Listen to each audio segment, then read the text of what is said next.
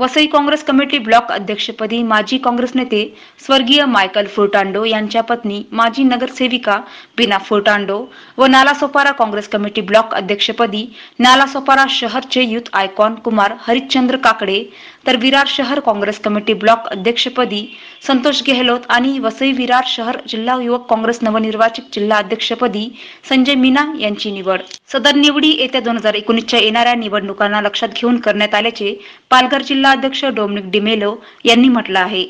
या निवडींनी खऱ्या अर्थाने काँग्रेस पक्ष सक्षम बनू शकतो. माझी निवड ही काँग्रेस पक्षाने माझ्यावर दिलेली जबाबदारी आहे. ही जबाबदारी मी यशस्वीपणे पार पाडीन असे आश्वासन नालासोपाराचे नवीन तरुण तरफदार काँग्रेस ब्लॉक अध्यक्ष कुमार काकडे यांनी म्हटलं आहे.